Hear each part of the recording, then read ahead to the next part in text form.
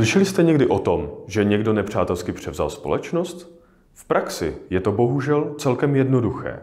Děj, děje se tak, buď pomocí skupování akcí za zády hlavního akcionáře v akciových společnostech, nebo v jakékoliv jiné společnosti, například v SROčku, a to pomocí insolvence.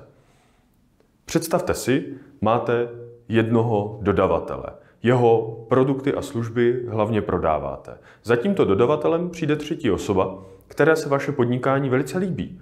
Dáváte do něj srdce, duši a hromadu času a hromadu peněz a díky tomu i docela slušně vydělává. A tato osoba si řekne, já tu firmu chci, ta bude moje. Takže přesvědčí vašeho hlavního dodavatele, aby vám ze dne na den přestal dodávat produkty nebo služby. Co se stane?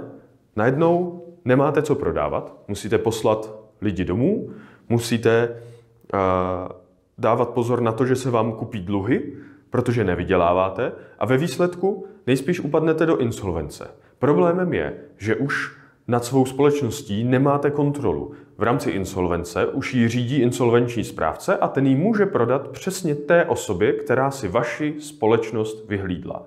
Toto je ovšem případ, kdy na nepřátelské převzetí lidé nebyli připraveni. Popřemýšlejte, jestli náhodou i vaše společnost nemůže být terčem nepřátelského převzetí a pokud ano, zkuste tomu zabránit. Budete-li chtít s tím nějakým způsobem pomoct, obraťte se na nás.